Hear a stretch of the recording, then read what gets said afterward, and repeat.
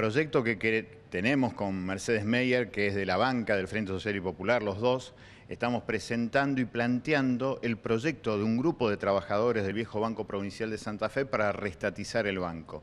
Creemos que es una herramienta de soberanía financiera notable que debe recuperar la provincia, más en este tiempo en donde la deuda que tiene la nación con la provincia todavía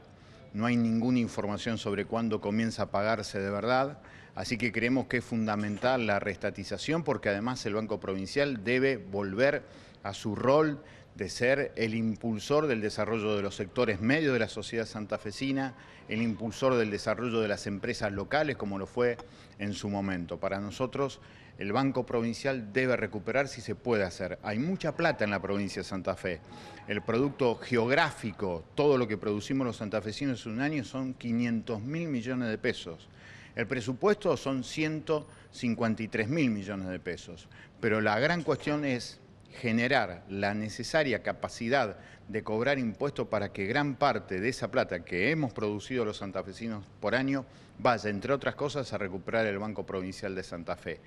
Y hablando de cuestiones de números, es interesante que nuestro pueblo sepa que la privatización que hicimos del Banco Provincial de Santa Fe nos costó a los santafesinos mil millones de dólares, de acuerdo al informe que en su momento hizo el ex ministro de Hacienda de la provincia de Santa Fe, Ángel Ciara. Y para colmo, se lo dimos a los hermanos Rom,